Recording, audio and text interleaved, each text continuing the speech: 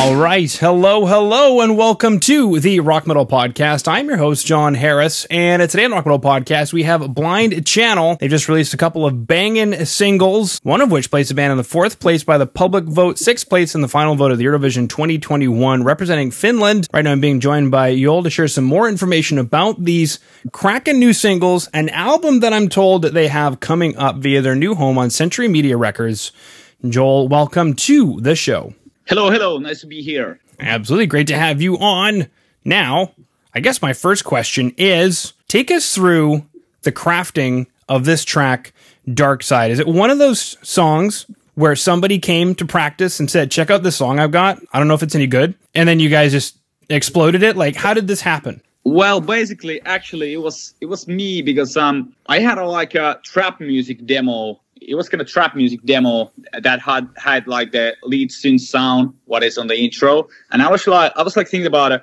Maybe it should work out on rock music as well. The whole thing, like the like the middle finger thing and everything like that. And then I kind of I kind of showed it to the guys, and guys were, guys were like, "Yeah, it's pretty cool. I really liked it." Likes the vibe on it, and it's it's kind of rap music, and it's not like the classical metalcore or nu metal thing. And after that, um, I think uh, we we we, we kind of started to kind of built a whole arrangement on the song. And um yeah it turned out pretty well if you think about like 40 million streams. So we didn't expect that when we started to build the song but everything turned out pretty well. Yeah. This is very true. Now speaking of some of those stats Jeez Louise, number one on the charts in Finland, 4.6 million views on YouTube, and as you just mentioned, 34 million streams on Spotify, as well as performing it uh, in the Eurovision Song Contest. So, I mean, how does that feel? I guess is a question. How does that feel to just be like, this could work, and then it does what it does? If you if you speak about the whole thing, like like like everything around that song, uh, I mean, when it when it when it was released in January, that like the first impression on the song from the audience was quickly that yeah, this is gonna work pretty well. This is gonna be huge. We knew it immediately, but we didn't expect that when we went to that whole competition, it, will, it will be like the second most streamed song of the whole like package. If you think about all the Eurovision finalists, it's the second best uh, uh, streamed song. So we didn't expect that much, but yeah, I think um it has something that has been missing from the like the if you think about, think about the whole pop music scene in general, like mainstream music right now, it has that it, it has that something that is missing right now, some alternative vibe or something like that that that that I, I guess it, it must be something about the frustration of, of the like like people who is listening to Spotify and listening to radio and get used to that uh, like modern pop sound. So they wanted to have that anthem for the frustration, and I guess our song Dark Side kinda had that uh, right kind of vibe for that. So I guess that that's one of the reasons why it worked out so well. Yeah, no, I got that vibe. You mentioned the mentioned vibe, serious vibes when I was sent the track by Century Media, and I took a listen, watched the video, and then obviously saw the Eurovision thing, and it's like, yeah, I mean, this is a banger. These guys definitely had this track dialed in, and that's kind of why I wanted to ask, you know, how much how much of an accident was was this song because it seems so dialed in, and then when Balboa came out, I thought, okay, does Dark Side set the tone? And I don't think there's any stopping you guys. So I guess the question is, did Dark Side set the tone for Balboa?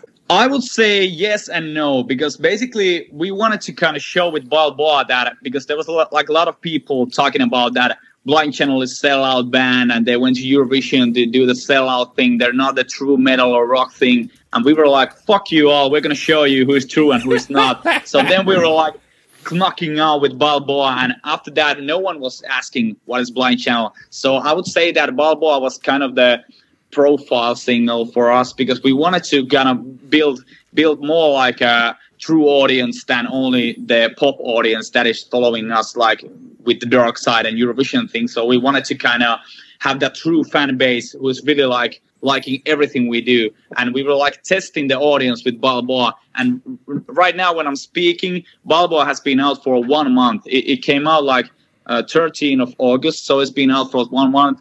And it's been streamed uh, mostly uh, almost two million streams. So yeah, it's, it's going pretty well, I have to say. And I didn't expect expect that that much streams in one month. But yeah, as as we can probably see, we have a true audience right now, and even though we make like heavier songs like Balboa, it still works for the people, and that's pretty cool to see.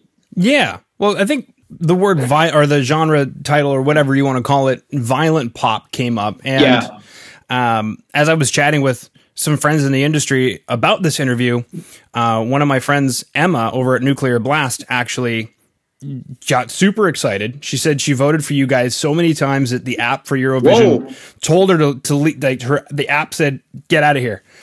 You voted you voted too many times for these guys, and she uh, linked me over to the Anastacia cover, and. Yeah. She her question is, do you have any more pop covers coming up? And if not, why the hell not? That's her question.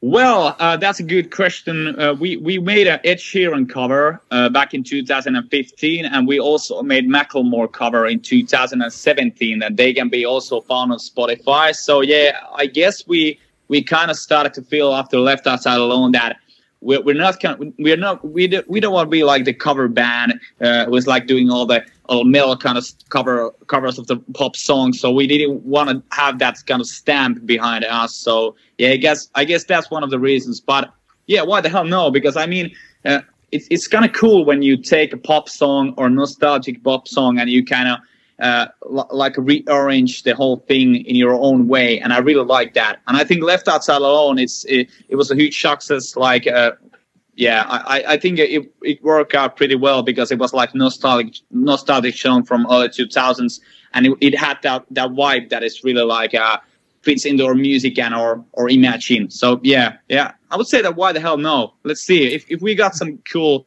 suggestions for the songs, then why not? I, I mean, I love to make like covers. I re- I really love it with with the boys. It's, it's really cool. Mm-hmm. Yeah, well, especially the music video for that that particular cover. You guys are in the studio, and I recognize yeah. the, the, studio. Uh, it's one of the ones in, in Helsinki. I can't remember the name of it, but uh, Sonic Boom. Yeah, yes. Sonic Pump. Yeah, yeah. There we go. Beautiful. Um, and yeah, it looked like you guys were having fun. Obviously, you're supposed to because it's a music video. But one of the vibes, yeah. one of the vibes I get because uh, up to this point, being in North America, it's it's almost like this overnight success. Who's this blind channel band that came out of nowhere swinging, right? But yeah, there's definitely no overnight. You guys have been at it for almost ten years. Yeah, almost. I mean, when we started, it was like uh, I, I guess Olli, our bass player, was like 16. I was like 19, and the guys were like around 18 or 17. We were pretty young back then. So mm. we we started out in high school. Very classical story for a rock band, and we started out and uh, we were like looking forward for all the like you know the Finnish rock exports like HIM and the Rasmus and Children of Bodom and Nightwish. We were like looking like up for them that if they can make it, we can make it. We were like uh, even though we are in, in, in somewhere in like uh, like northern Europe, it's very far away from everything. We were still like thinking about that it could be possible to do that if if, we, if it was done like way back like early 2000s with with those bands. So yeah, we've been doing this for, for a while. Right now we're around 25 years old all, all of us. I'm, I'm 27, but we're still kind of on the younger side of the of the how how you say like like all the rock bands. We're still kind of young in in everyone's eyes. So yeah, it, it happened pretty qu- quickly, but we have the we we've paid our dues a lot many times. Yeah.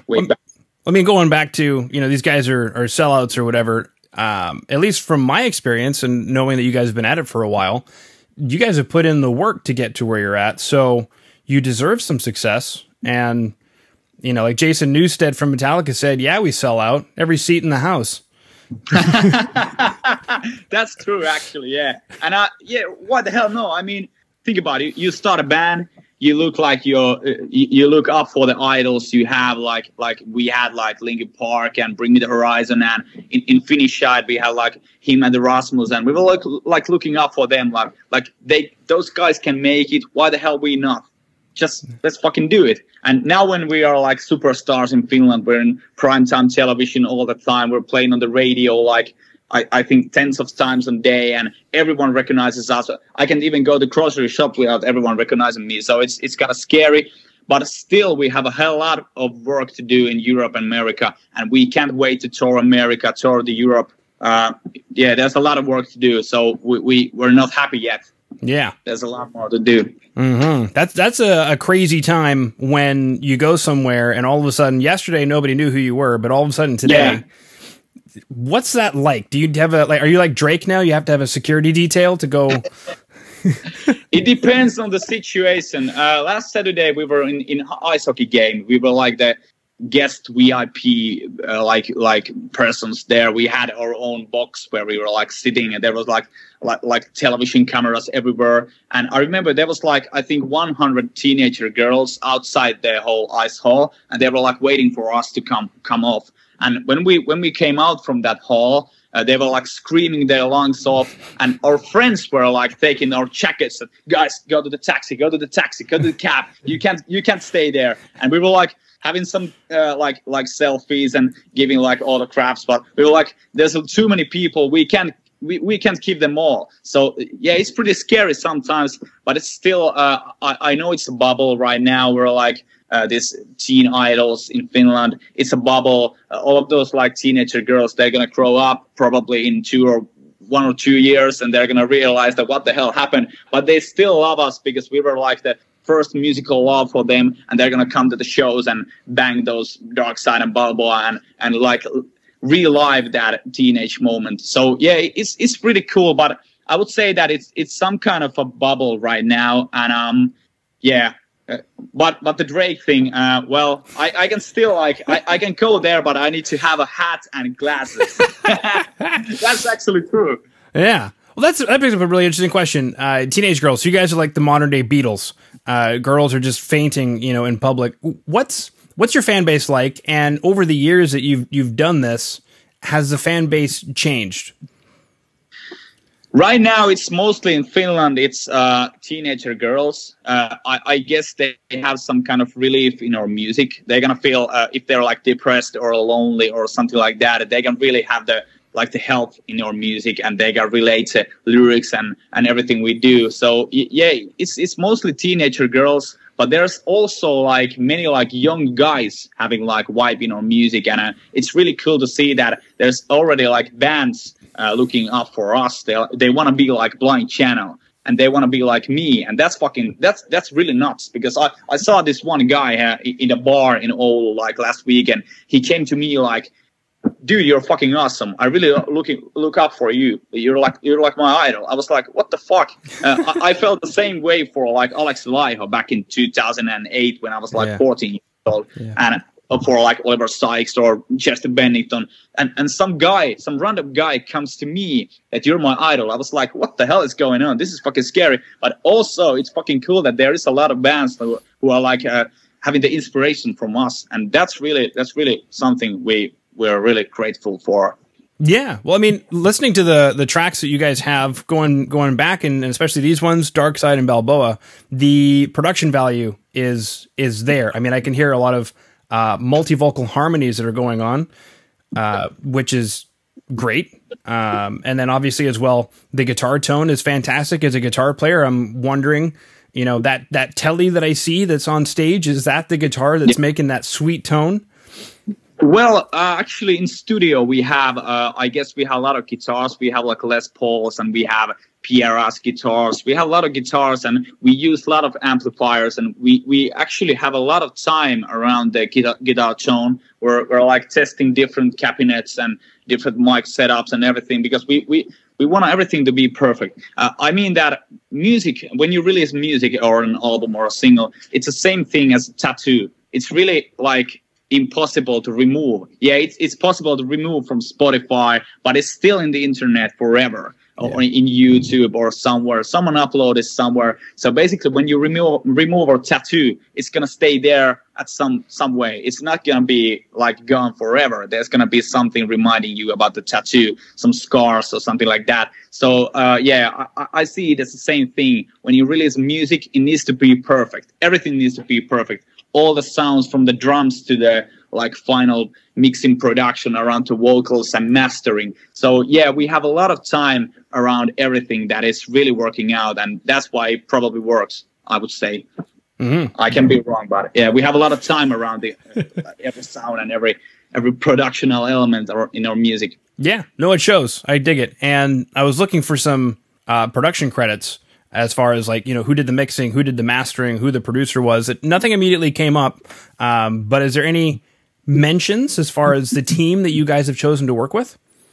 Well, right now we're doing the production uh, inside the band. We have Alexi, the new member, and he used to be a DJ product producer like back in 2016 and 2019 he had a career. He was like he was like doing a lot of like collabs with with like different vocalists and he was doing like pop music a lot more than we we did. So basically we're doing the whole production inside the band. We have this one guy who is like doing the engineering and he's like um, recording drums and guitars and doing the studio stuff like like the hard stuff setting up the mics and everything like that. Jonas Parkkonen uh, he used to have a band called Santa Cruz, and they were actually touring, uh, I think, America a couple of times, and then the band broke up. But right now, he's only doing the studio stuff. So, yeah, we have that guy, and the most important thing I would say in the new Sound of Blind channel is Dan Lancaster. You probably know who, I'm, who mm-hmm. I'm talking about. Uh, he's been doing like Bring Me the Horizon and Blink 182. So Dan Lancaster plays a huge role in the new Sound of Blind channel because before Dan, we had uh, we had a lot a lot of like different mixing engineers, and when Dan came up, I think with Dark Side, it all went together so smoothly. We had the organic band sound and electronic stuff and hip hop stuff, and everything was like fitting in. And it continued with Balboa, and right now we're doing the whole album with with Dan. So yeah, I would say that Dan Lancaster plays a huge role in the new Sound of Blind channel. Very cool. And you just dropped the word album. So is there anything you can share about this new album that you guys are working on? Well, right now, when I'm speaking, uh, we are in studio in Helsinki. This week, uh, on Sunday, we're going to finish the whole recording progress. We're, we're, doing guitars right now. And then we send it to Dan Lancaster. Uh, he's going to do the mixing thing. And after that, it's going to be probably mastered in America. Uh, I'm not sure about that, but I heard it's going to be mastered there. So after that, it goes to the factory. There's going to be like those vinyls and uh, like like booklets and different different kind of stuff coming up. And I I would say that it's coming up in in spring 22. Right now, that's the plan, but there's not not a date yet, but it's going to come out in spring 22. Okay. I have a feeling chances are you'll you'll be back on the show when that album is out and we can touch base on it then. Well, in case of America, we have a plan for America next spring, and I really, really wish it work out. I mean, it's right now it's it's kind of hard to come over because of the COVID stuff, and we need to have like those like uh, different IDs for everything. So but yeah, there is a there is a big plan, plan for America because we're right now in active rock radio charts. I think around 47 or something with Dark Side, and it's been played on Octane a lot of times. So there is a chance for America really for next spring. But before that, we need to hit Europe with Eskimo Callboy. We're gonna have like 24 shows in Europe. But I really, I, I mean, it's my childhood dream to come to America and play a lot of shows. That's like my sweetest dream from the like early teenager years because I I mean I've been to America once. I, I went to Miami. Uh, it was three years ago, and I remember when I saw those buildings and everything. It was like this is the place I want to be. This is this is the end game. This is where I want to be. like, yeah. It's right. very classic, like like a like a rock and roll dream, but yeah, for hell, for hell, sure, I want to live that. Sweet. All right. Well, I'm in Canada, so just stop by, say hi, yeah, for sure. I mean, and it's on. Yeah, we'll have a poutine or something, and it'll be good. Uh, yep. Groovy, sweet. So so far we've chatted about uh, trap music influences, especially being the beginnings of Dark Side. We even touched on that that ugly thing of success, being a sellout band. Uh, metal pop covers. We chatted about working with Dan Lancaster. We chatted about the track Balboa. On today's show notes, so you're listening in Apple Podcasts, Spotify, TuneIn, iHeart. You're watching on YouTube or the website, the Rock Metal Podcast. .ca. You can head over to blindchannelofficial.com, touch base with the boys anywhere you want to touch base with them. They're available on Facebook, Instagram, Twitter, and even TikTok. Yep, we're doing a lot of things in TikTok. I mean, it's, it's the future. Imagine. Yeah. yeah. That is the future. Groovy. And then there's going to be links to the music videos for Dark Side, Balboa, as well as the Eurovision performance of Dark Side. So, Joel, that concludes my questions. Is there anything we were supposed to chat about that management said we got a hit that I missed? Well, I would say no. I mean, everything was like set up pretty well, and we were going through a lot of things. So yeah, everything is pretty cool right now. Sweet. All right. Well, thank you so much for coming on to the Rock Metal Podcast today, Joel. Anytime, anytime. Thank you so much.